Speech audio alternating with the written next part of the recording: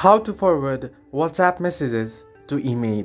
Hello everybody, welcome back to the channel. Today I'll guide you on how you can forward your WhatsApp messages to email. Now, if you open up your WhatsApp first here and head into a particular chat. Now, if you wanna forward your either sent messages or received messages, the process is same. Now first what you wanna do is head over to a particular message. I'll just head into one here and then long tap on it and at the top right corner of the screen you can see the share option or forward option.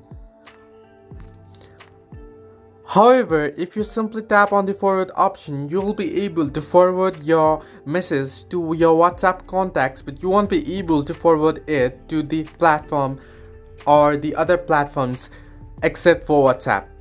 So, what you need to do is simply tap on the three dots option at the top right corner and then copy the text you can see the message has been copied and the next thing you want to do is head into your email or Gmail and once you head there what you want to do is tap on the compose option and then select the sender here or receiver here.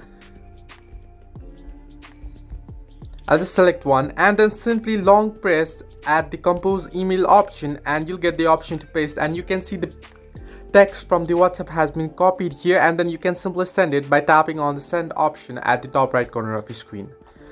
So this is the only way you can forward WhatsApp messages to email. Hope this helped you. Do like and subscribe and do not forget to leave a comment down below if you have any further issues.